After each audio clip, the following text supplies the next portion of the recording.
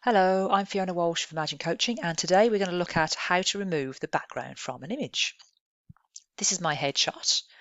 So if I click on the image, I get the Picture Tools Format tab will open up. I'm going to click on that and over to the far left I have Remove Background.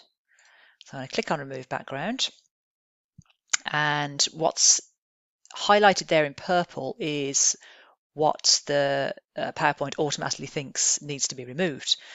But as you can see, there's a little bit of my hair there that it's picking up and, and also my jacket. So what I want to do is I want to mark the areas that I want to keep.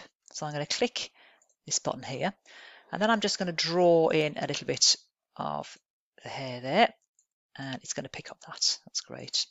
And now I'm just going to just draw there on my jacket and I'm going to keep drawing until it picks picks that up.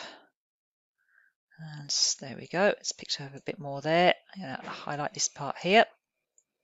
A bit of my arm there. Um, that's the collar there as well. I'll draw down there.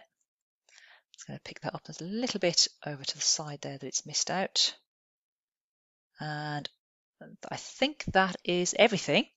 So now if I click Keep Changes, you can see that it's removed the background and there I have my image.